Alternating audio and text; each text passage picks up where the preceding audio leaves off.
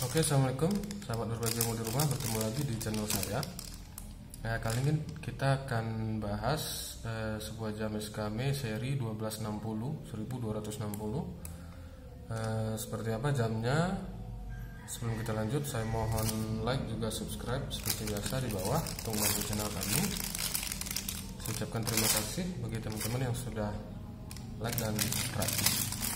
Oke kita lanjut. Oke ini dia sini. Ada brand Eskame eh, kali ini saya beli yang warna hitam seperti ini. Ini black.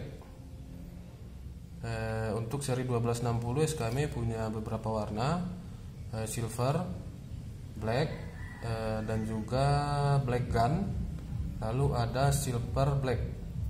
Nah untuk silver itu biasanya semua bagian itu berwarna silver yaitu talinya chrome dan ini chrome. Di dalamnya silver. Untuk silver black itu biasanya tali silver ini silver dan dalamnya hitam seperti ini. Lalu yang ketiga itu adalah black seperti yang saya eh, beli. Lalu yang keempat ada black gun. Oke eh, seperti biasa saya beli ini di toko online. Kita akan ukur dulu berapa ukurannya. Untuk diameter dari jamnya sendiri ini 4 cm beserta pinggirannya itu 4 cm kalau ukuran kacanya saja 3,3 sampai 3,4 kalau beserta pinggiran itu 4 cm Oke. untuk tali ini 2 cm sekitar 2 sampai 2,1 Oke talinya 2 sampai 2,1 cm Oke, apa saja yang kita dapatkan? Ini adalah jamnya, juga user manual seperti biasa. Lalu brand SKM-nya. Lalu di bawah ada barcode, scan barcode-nya, QR code ini tuh menandakan kalau dia memang original. Lalu di bagian belakang sini juga ada logo SKM. Itu. Uh, ini warna hitam mengkilat masih dengan plastik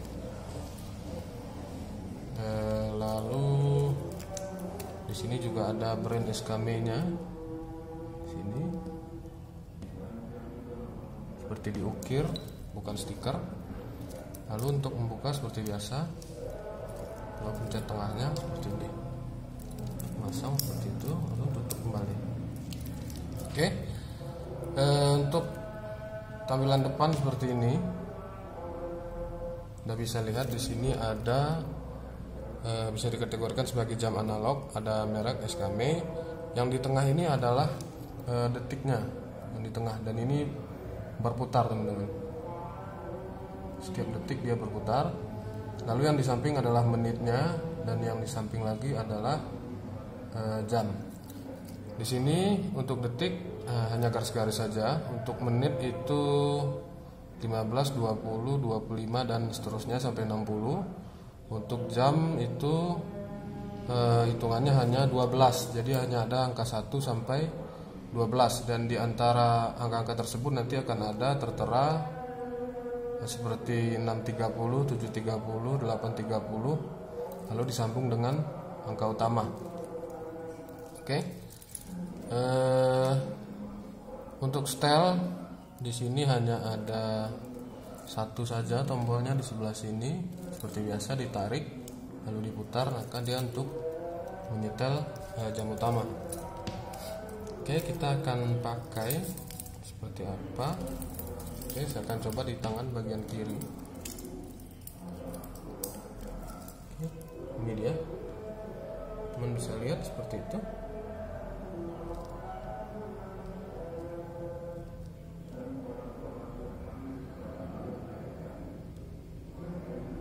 cukup menarik dan cukup elegan teman-teman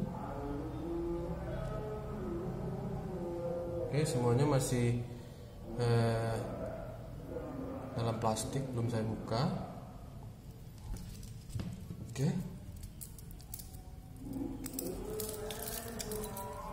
Kita tutup lagi. Oke, sekali lagi saya ingatkan ini adalah SKM 1260. Eh, itu saja mungkin. Kalau ada pertanyaan teman-teman bisa tinggalkan di kolom komentar nanti akan saya bantu jawab. Oke. Terima kasih sudah menonton teman-teman. Jangan lupa like juga subscribe seperti biasa untuk bantu channel kami. Sampai bertemu di video saya selanjutnya. Terima kasih sudah menonton. Wassalamualaikum warahmatullahi wabarakatuh